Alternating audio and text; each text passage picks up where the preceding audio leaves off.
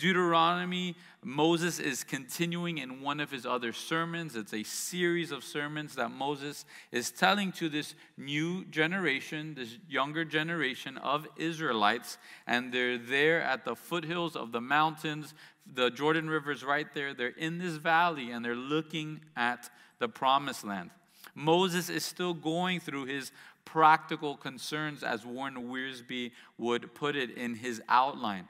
And here he has a practical concern for them that when they go into this land, they are to conquer and utterly destroy the inhabitants of the land.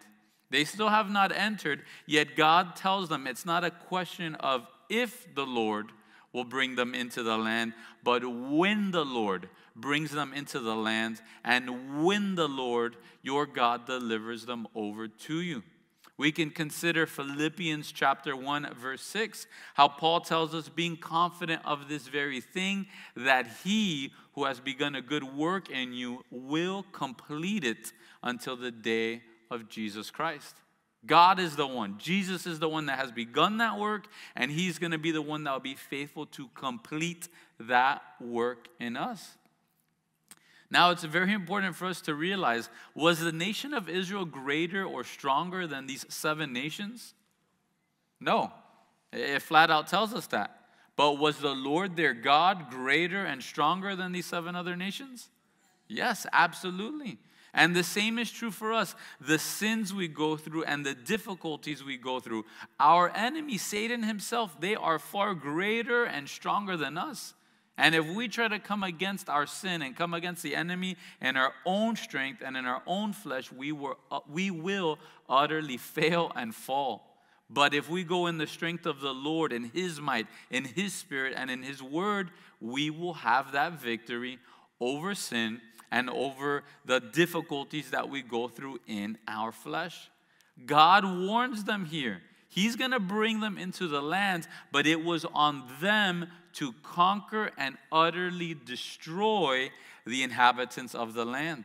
They were to make no covenants and they were to show no mercy towards the inhabitants of Canaan. For us, this is a picture of sanctification. Sanctification. We're not just to be saved and stay as an infant in the faith until we see Jesus face to face. We are all to be continually growing and maturing in the things of Jesus Christ. We're not to trust in our flesh or in our own strength to defeat sin, nor are we to think that we're strong enough to play around with sin and not completely destroy it. We've been called to completely and utterly destroy the sins and temptations and the things which so easily ensnare us. We can turn to 1 Corinthians chapter 10. And in 1 Corinthians chapter 10, Paul gives us great hope because each and every one of us are tempted. Temptations will come. And the Lord gives us power to overcome these temptations. 1 Corinthians chapter 10, verse 12 and 13, it says, Therefore let him who thinks he stands Take heed lest he fall. No temptation has overtaken you except such as is common to man. But God is faithful, who will not allow you to be tempted beyond what you are able, but with the temptation will also make the way of escape that you may be able to bear it. We never sin because we don't have a choice or an option.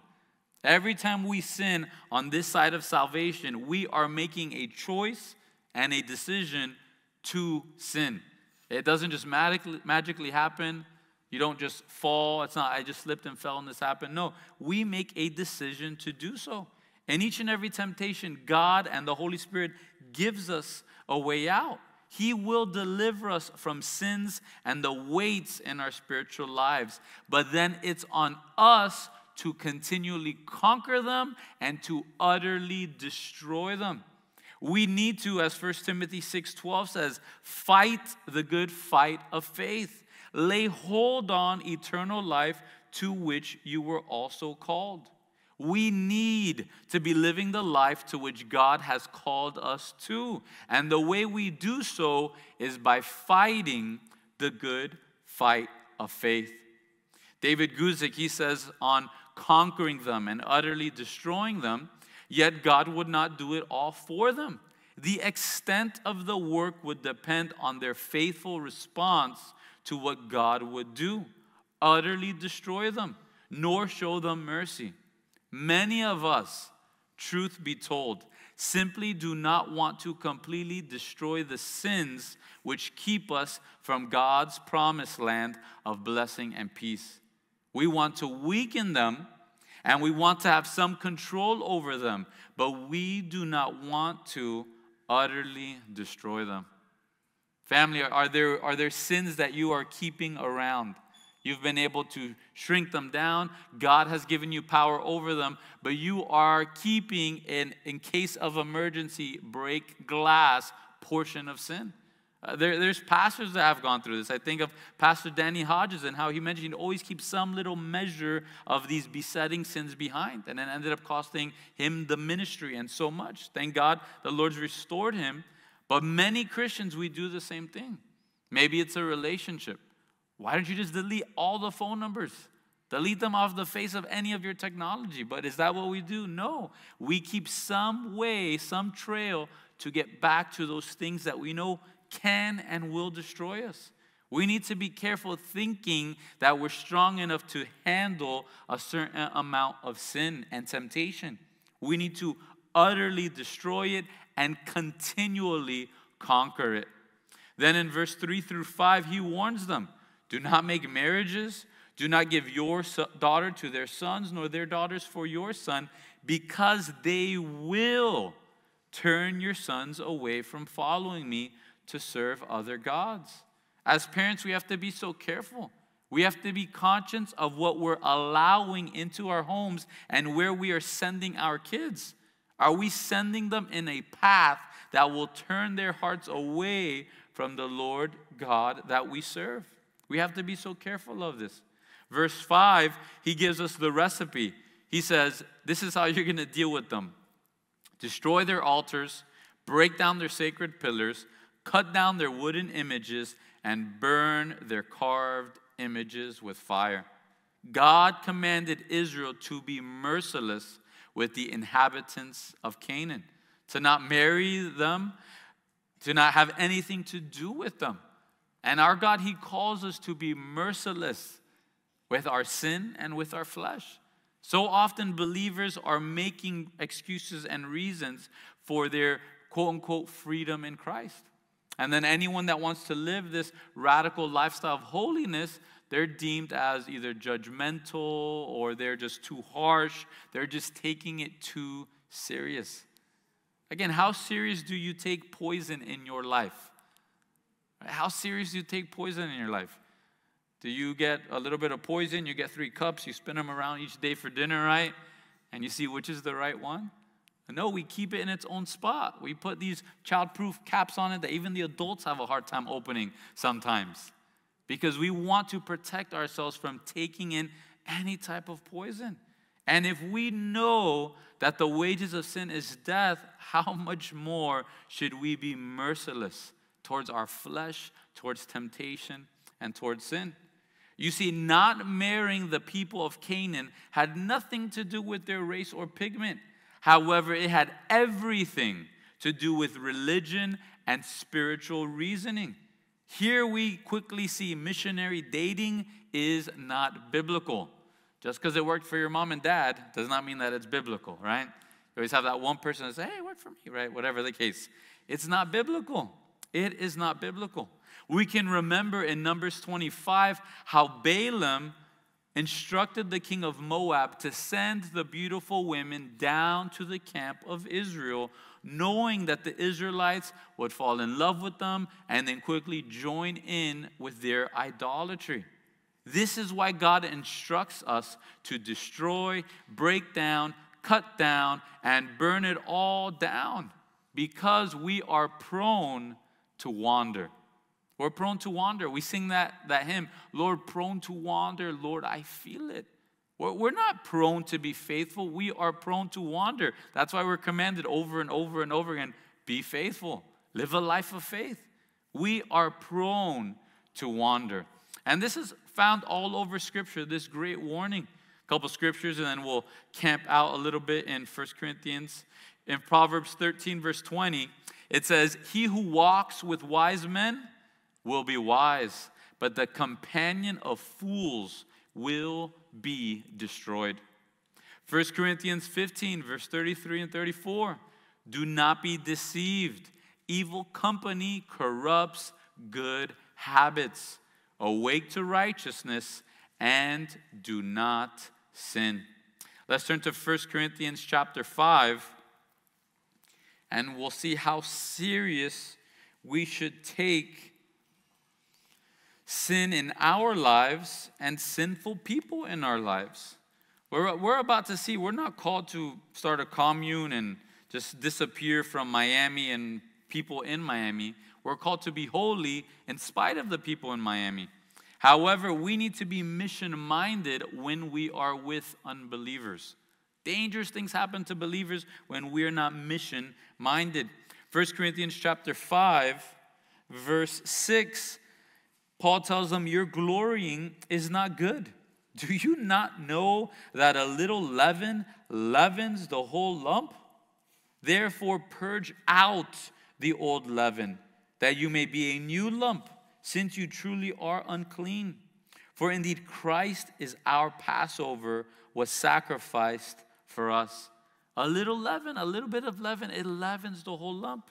So when we allow sin into our lives, when we watch certain movies that are bringing in these images, when we're listening to certain music that's putting these words in our mind, it is slowly but surely leavening the whole lump. It's the same for a people group. I can always think of the youth, even the young adults. One person drastically will change a group. Any teachers here? Any teachers? Does not one student drastically change how the whole class acts? That one kid, that special kid, right? That kid that was me back in high school, right? That when that kid's absent, all of a sudden all the kids are behaving perfectly. They're a bunch of little angels. But when that one kid gets back, it's insane what has happened. Dr. Jekyll, Mr. Hyde, right? because a little bit of leaven, it leavens the whole lump. Who are the people you're allowing into your life that are drastically changing you? Not for the better, but for the worse. Revelation 18, verse 4, we're commanded. It says, I heard another voice from heaven saying, Come out of her, my people, lest you share in her sins. We need to come on out. We're called to be holy. We're called to be set apart, lest we share in their sins. Verse 6 Why should this be our attitude towards sin? Why was this supposed to be the attitude for the children of Israel? Because they are a holy people to the Lord your God. The Lord your God has chosen you to be a people for himself, a special treasure above all the peoples on the face of the earth. Israel was called to be holy. They were called to be set apart, different from the entire world around them because they were chosen by God. And because they were the chosen people of God, they were a special treasure above all the peoples on the face of the earth. As believers, we're called to be holy to be set apart. And this is why the nation of Israel had no business wandering around aimlessly with the Canaanites. And it is why we, as believers, Christians, disciples, heaven bound people, we are also that holy people because we're chosen people and we should not just be wandering around aimlessly with unbelievers, but we ought to be mission minded. In 1 Peter chapter 2 verse 9, Peter tells us you are a chosen generation, a royal priesthood, a holy nation, his own special people. And what's our purpose? That we may proclaim the praises of him who called you out of darkness into his marvelous light, who once were not a people but are now the people of God, who had uh, not obtained mercy but now have obtained mercy. We're called to be set apart. We're set apart for God and we're set apart for the work of God. Are we proclaiming the praises of God? How He's called us out of darkness, how He's brought us into the light, how He's adopted us as sons and daughters. It tells us here that the nation of Israel was a special treasure, is a special treasure above all the peoples of the earth. And 1 Corinthians 6:20 tells us that we were bought at a price. And because we were bought with such a great price, we are to glorify God in our body and in our spirit, which belong to God anyway. Once again, we are a holy people. We are to be set apart for the purposes of God. Let's turn to Second Corinthians chapter 6. 2 Corinthians chapter 6.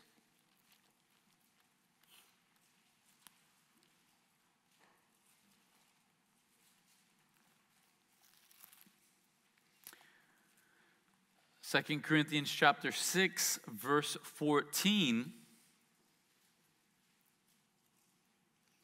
It says, Do not be unequally yoked together with unbelievers.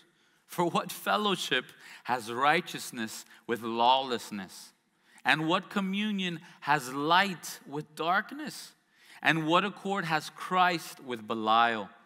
Or what part has a believer with an unbeliever? And what agreement has the temple of God with idols? For you are the temple of the living God. As God has said, I will dwell in them and walk among them. I will be their God, and they shall be my people. Therefore, come out from among them and be separate, says the Lord. Do not touch what is unclean, and I will receive you.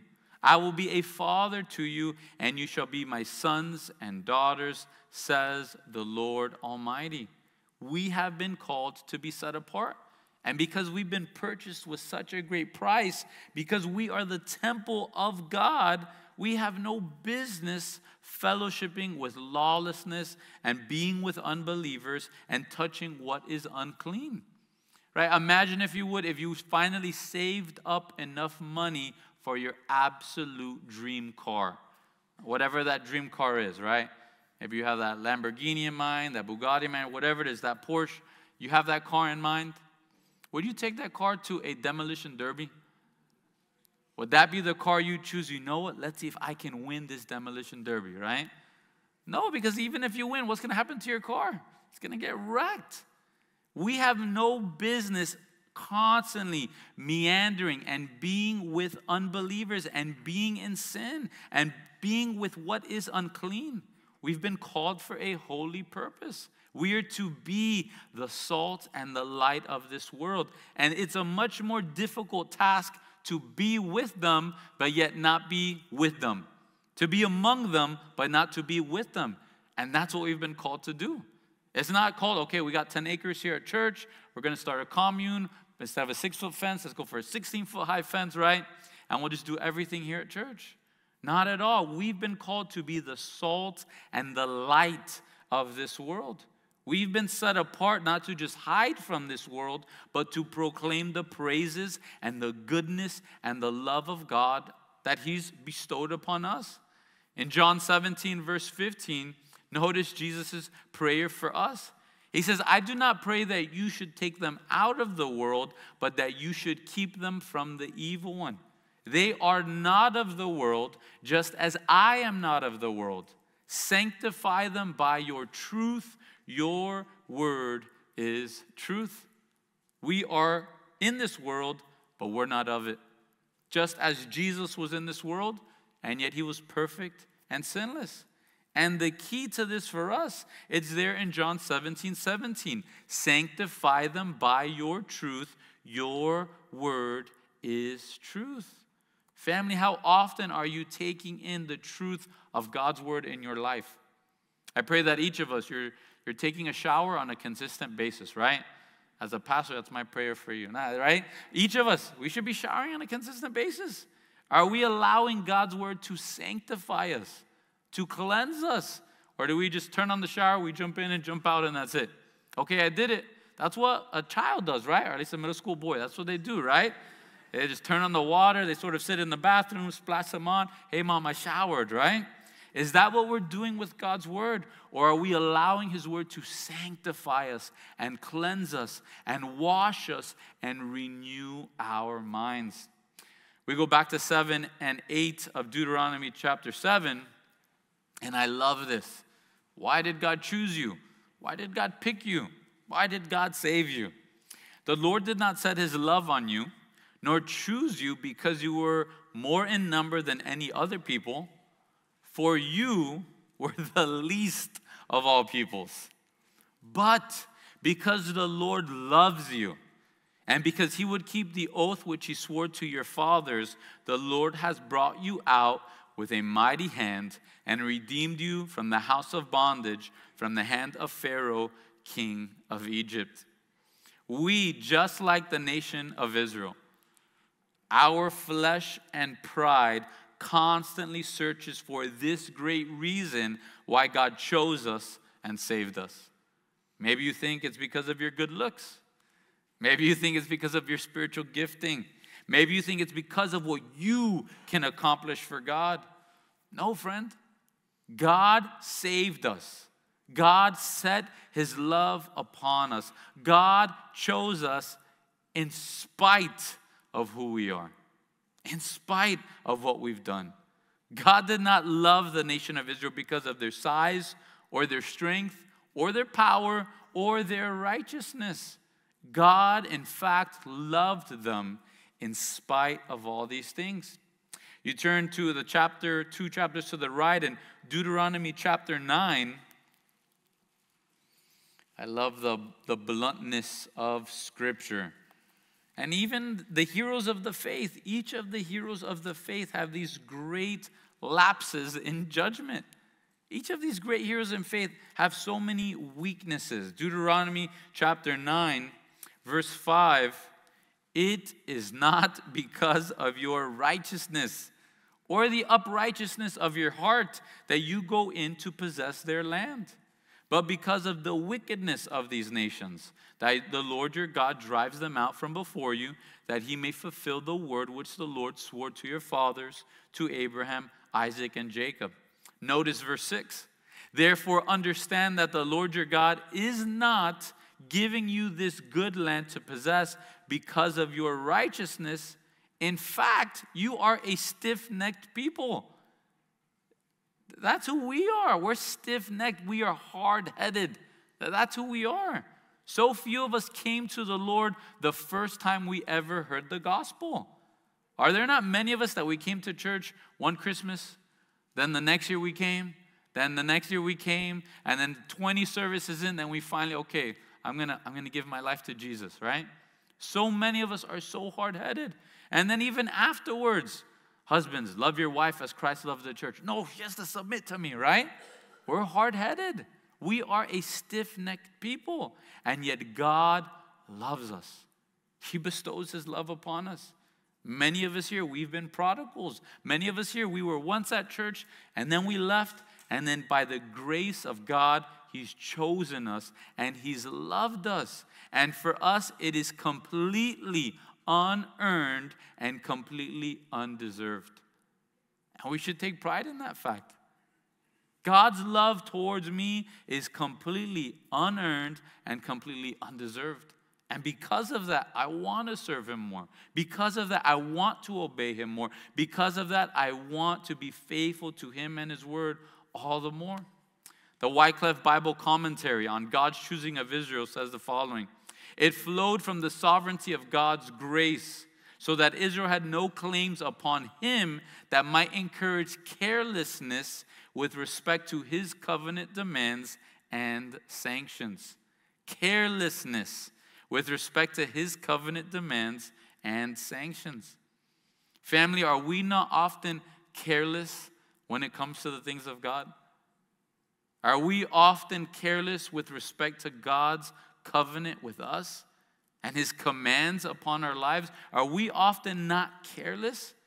Our pride creeps in and we can begin to think, I've deserved this. I've done enough of the Christian walk so now I can do a couple bad things and it's going to be a okay. I've given enough tithe to the church so now I can get away with this sin or that sin.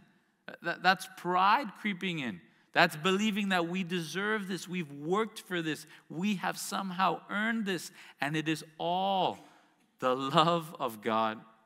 I encourage you, spend time tonight and tomorrow morning and every morning and every night meditating on the undeserved and unmerited love of God and love of Jesus Christ for you. Sit back and just meditate on it. How many times we've done something that should negate any chance we have at salvation. And yet his grace and his mercy just pours out once again. First John chapter 3 verse 1 Behold what manner of love the Father has bestowed on us that we should be called children of God. In 1 John chapter 4 verse 10 it tells us in this is love not that we loved God but that he loved us and sent his son to be the propitiation for our sins. Finally Romans chapter 5 verse 8 but God demonstrates his own love towards us and that while we were still sinners Christ died for us. You see, when we truly believe that God loves us and that we've done so much to not deserve this great love towards us, it stirs us up. It stirs up a fuel, it stirs up a great motivation to obey God and to utterly destroy anything that would hurt Him and anything that would hurt our relationship with Him. When we truly believe, I don't deserve this, this is His grace and His mercy, we don't think, what's the least amount that we can do for God? We say, what more can I do for the Lord my God? What more can I do for Him? How else can I show Him how grateful I am for Him? You take that with the fact that there's treasures that await us in heaven that are dependent on our works here on earth, it should fuel each of us to be about our Father's business. A gratitude for what God has done for us, and an eye that's focusing on the rewards of eternity. You look at the life of Paul, he's constantly between the two grateful and blown away at the grace of God, and then he's considering the rewards that await in heaven for those who are faithful and for those who are about their Father's business. Verse 9 Therefore, know that the Lord your God, he is God the faithful God who keeps covenant and mercy for a thousand generations with those who love him and keep his commandments. You've ever heard one of those, I got good news, bad news, right? Which one do you want first? Here we get the good news. The God of Israel, he is the one true God. And he is the only faithful God because he is the one true God and he always keeps his covenants and his promises. We can be reminded of the last chapter in Deuteronomy chapter 6, verse 4 and 5, how the Lord speaks to Israel and he says, Hear, O Israel, the Lord our God, the Lord is one. You shall love the Lord your God with all your heart and with all your soul and with all your strength. And the way we demonstrate that we have this love for God is through our actions. I'm sure many of the spouses here, many of us here, we've told someone, actions speak louder than words. Don't just tell me that you love me, show me. Show me that you love me. Show me that you're actually sorry. Jesus, he tells us in John 14, 15, if you love me, keep my commandments. Don't just say that you love me. Don't just show up to church. It's important. I'm glad that you're here, church. I know that God's happy you're here at church. But if you love Him, we need to keep His commandments. And when we keep His commandments, He's going to keep that covenant and He's going to have mercy upon our lives for forever. That's what's meant by a thousand generations with those who love Him and keep His commandments. You see how those two are joined together? It's those who love him and those who keep his commandments. However, in verse 10 and 11, now we get the bad news. He repays those who hate him to their face. He's not backhanded about it, it is to their face to destroy them. and he will not be slack with him who hates him. He will repay him to his face. Therefore, in view of this, what should you do? You should keep the commandment, the statutes, and the judgments which I command you today to observe them. If those who love God obey his commandments, what do you think is the response from those who hate God towards his commandments? Disobedience. They, they don't obey it. But it's a little bit scarier than that. In Psalm 81, verse 15, it says the following The haters of the Lord would pretend submission to him, but their fate would endure forever. If you're a little bit slow like I am, the NASB helps out. It says, Those who hate the Lord would pretend obedience to him, and their time of punishment would be forever. You see, that word hating God, it's not just an outright hatred towards God. There's no doubt that happens in Scripture today. But those who hate the Lord are those that they pretend to obey Him. And, and haven't we all been there when we are pretending to obey Him? We're pretending that we obey Him in front of other people. We're watching something else and we know someone's coming in the room, so we grab our Bible and we just open it somewhere, pretending that we're doing our devos, right? Someone, I'll never forget, I was in sixth grade. This is my first missions trip. I'm in sixth grade in my missions trip. We're exhausted. We're sleeping four hours a night. The whole group is tired, and the leader decides, let's have a prayer meeting right now, right? So we're all in this basement. It's all quiet, and I just fall asleep. I'm just knocked out. And he goes and he wakes me up, the pastor's kid that I am. I wake up and right away, without a, without a blink, I go, I was praying. Leave me alone. We've all been there, pretending to obey the commandments of God. Are we truly obeying Him out of a heart of gratitude and sincerity? Lord, I, am grateful. And when we disobey His commandments, we don't hide it, we seek repentance. We repent say, Lord, I'm sorry. And to the person we hurt, to the person that we disobeyed what God tell, told us to do in that situation, we repent to them as well. Now, verse 12, we see blessings of obedience. It's important for us to know these blessings here, this is not necessarily still applicable to us in every single verse. These blessings of obedience were for the nation of Israel, specifically for their time going in and conquering the nation of Canaan. We'll, we'll see this in a moment. Verse 12 says, Then it shall come to pass, because you listen to these judgments and keep and do them, that the Lord your God will keep with you the covenant and the mercy which he swore to your fathers. And he will love you and bless you. Up until then, it's completely true for every single one of us. Now, verse 13, now we get these specific promises for Israel here. He will multiply you. He will also bless the fruit of your womb and the fruit of your land, your grain and your new wine and your oil, the increase of your cattle and the offspring of your flock, in the land of which he swore to your fathers to give you. You shall be blessed above all peoples. There shall not be a male or female barren among you or among your livestock. And the Lord will take away from you all sickness and will afflict you with none of the terrible diseases of Egypt, which you have known, but will lay on them all those who hate you. Also, you shall destroy all the peoples whom the Lord your God delivers over to you. Your eye shall have no pity on them, nor shall you serve their gods, for that will be a snare to you. The wages of sin is death if we're obeying any other God, any other idol, it will be a snare in your life. That, that's the only outcome of obeying sin and obeying our flesh and disobeying God's word. It will be a snare for us. Now, these specific blessings, they're for the nation of Israel. We know many godly people who were barren, even in Scripture. We know many godly people that had diseases in Scripture. So, this was an incredible blessing for the nation of Israel. And yet, did they obey and stay faithful to the Lord their God? No. They still kept all these different idols.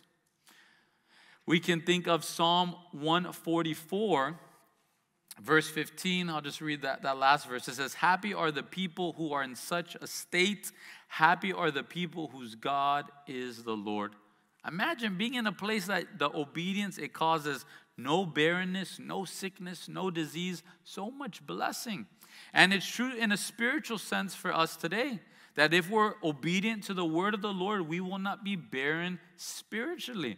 We will have the fruit of the Holy Spirit in our life.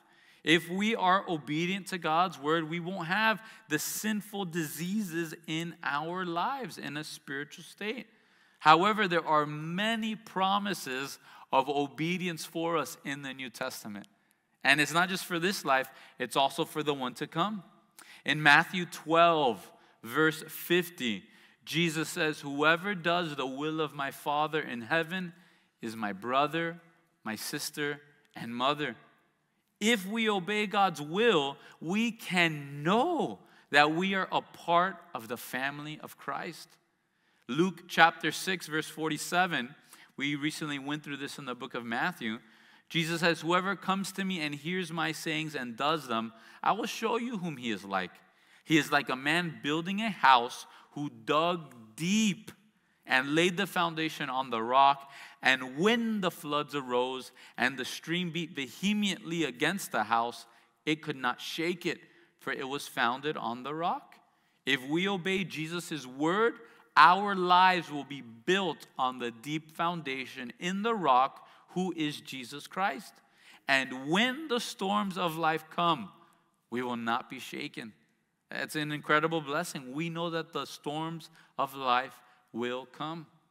John chapter 14, verse 23, Jesus says, If anyone loves me, he will keep my word, and my Father will love him and we will come to him and make our home with him. He who does not love me does not keep my words, and the word which you hear is not mine, but the Father's who sent me. Is this not an incredible promise right here? That if we obey the words of Jesus Christ, God the Father will love us, and God the Father, Jesus the Son, and the Holy Spirit will make their home with us. An incredible promise. John 15, verse 10 If you keep my commandments, you will abide in my love, just as I have kept my Father's commandments and abide in his love. You are my friends if you do whatever I command you. It's a promise. If we obey his commandments, we will abide in his love and we will be called his friend. 1 John 2, verse 3 tells us, Now by this we know that we know him if we keep his commandments. Hey, if we obey God's commandments, we can know that we know that we know that we know him. And if we know him, we know that we are heaven bound. Two more promises here before I lose you. 1 John 3, verse 24, it says, He who keeps his commandments abides in him, and he in him. And by this we know that he abides in us by the Spirit whom he has given us. Family, if we obey his commandments, we can know that we are abiding in him and he is abiding in us. And the last promise, one of the biggest ones here, one of the most important ones, is found in Revelation 22, verse 14 and 15. And here it says, Blessed are those who do his commandments, that they may have a right to the tree of life and may enter through the gates into the city. But outside are the dogs and the sorcerers and the sexually immoral and the murderers and the idolaters and whoever loves and practices a lie. The greatest promise here, I believe, is that if we obey his commandments, we will have a right to the tree of life and we will be in heaven for all of eternity. Hey, that's way better than not having any diseases here on this earth. We jump back to Deuteronomy 7, verse 17.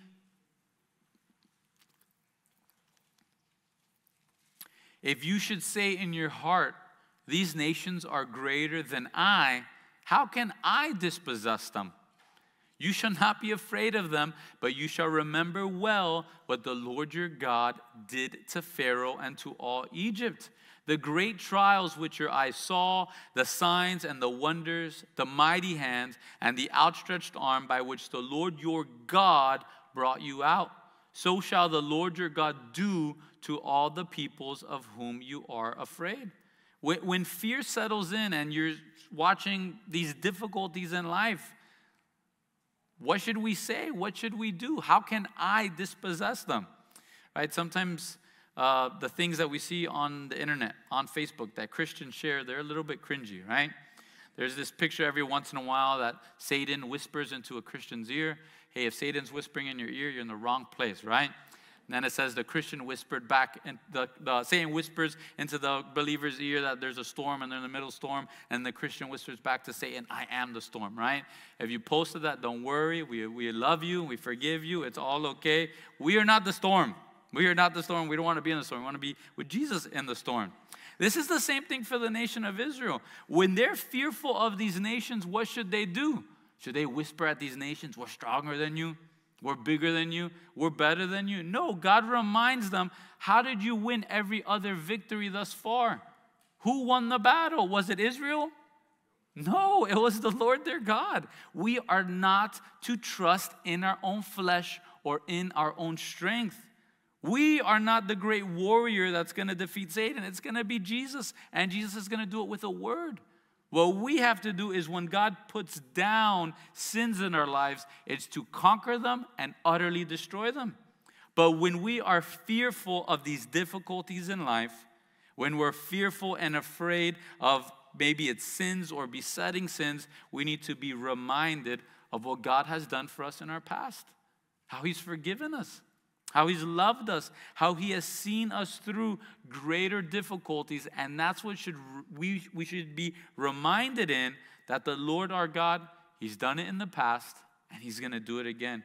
He can do it again. And our God, He's very creative. He's more creative than many of us, right? Verse 20, look how creative the Lord our God is.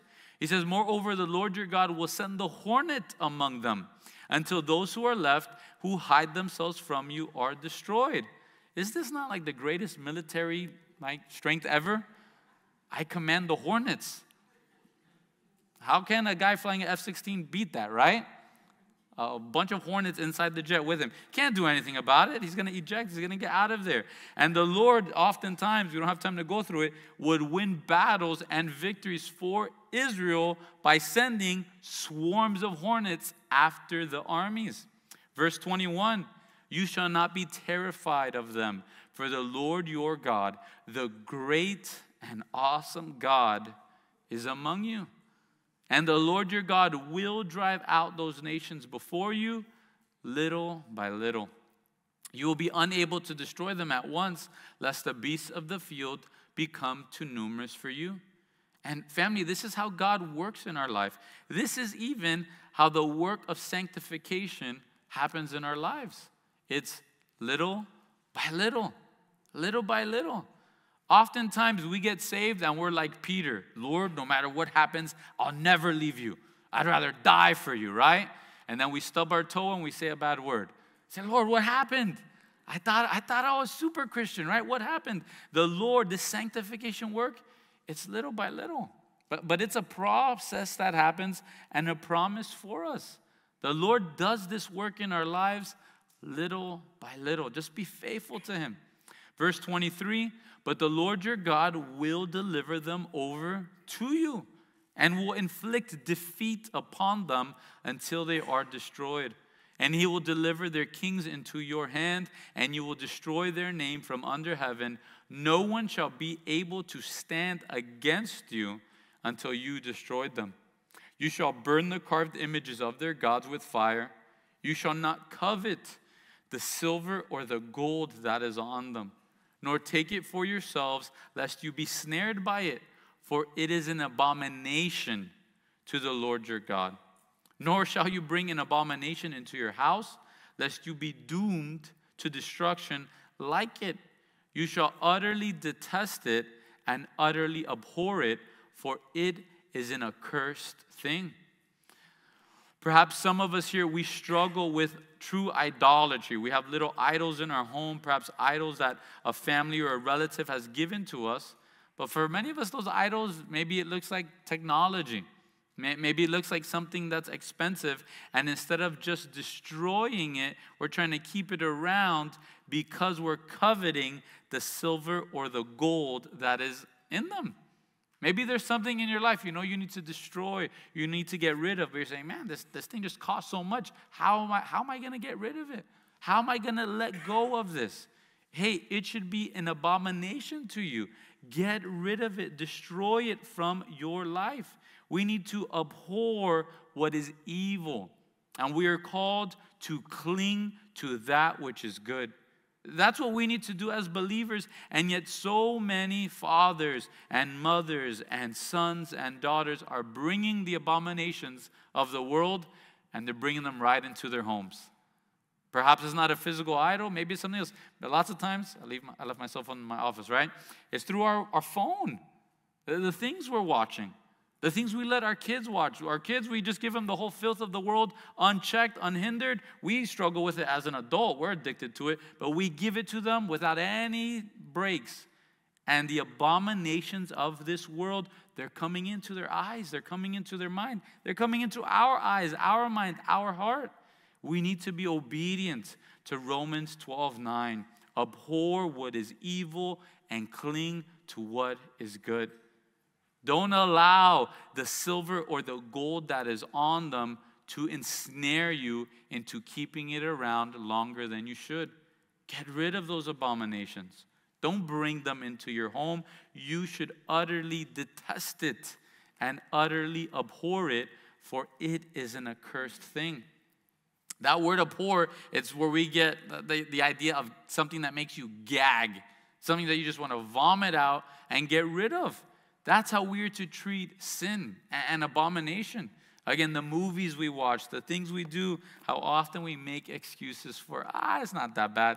It's not that big deal. It's just, just one word, just one scene, just one cut scene. No, abhor it, utterly detest it. It is not worth it. So, hey, let's go ahead and pray. Pastors, if you guys can come on up, worship team, if you can come on up, we'll pray. If you need prayer, there'll be pastors up front. If not, encourage you, enjoy a milkshake. If you can't enjoy a milkshake, buy somebody else a milkshake, right? But man, may we cling to what is good. Cling to what is good. Are you clinging to the Word of God? Are you allowing God's Word to be that sanctifying process over your life? You're just washing yourself and washing yourself and washing yourself. Are you too busy being so much in the world and in the things of it? You're just getting yourself dirtier and dirtier and dirtier. So, Lord, we just thank you, Lord. Thank you so much for tonight. Again, we thank you for the book of Deuteronomy. And Lord, thank you for the promises you have for us, Lord. Uh, this promised land that we get to live in, Lord. A life of less and less sin, Lord. A life of closer unity to you. Lord, a life when we can hear your still small voice, Lord. Lord, a life when we don't have to be worried about what people know about us or the things that we're doing. Lord, thank you. Thank you for this blessed life of being freed from sin and freed from hell and freed from shame. Lord, we thank you so much for it. And Lord, just thank you. We thank you for your mercy and grace upon us, Lord, that when we sin and when we mess up, Lord, Lord, thank you that you don't just destroy us, you don't just get rid of us, Lord. Ah, Lord, but how your mercy and grace, it tells us to get back up again, to repent, and get back in track with you, Lord. So, Lord, that's our prayer for any brother, any sister here, Lord. If they've fallen off track, Lord, if, if they've sinned, may they not allow the enemy, Lord, to just condemn them and beat them up and cause them to run away, Lord. Lord, but may they allow your conviction to settle in, Lord, that they'd repent and go and sin no more, Lord. So we just love you, Lord. We thank you so much. Jesus, it's in your name that we pray. Amen. Amen.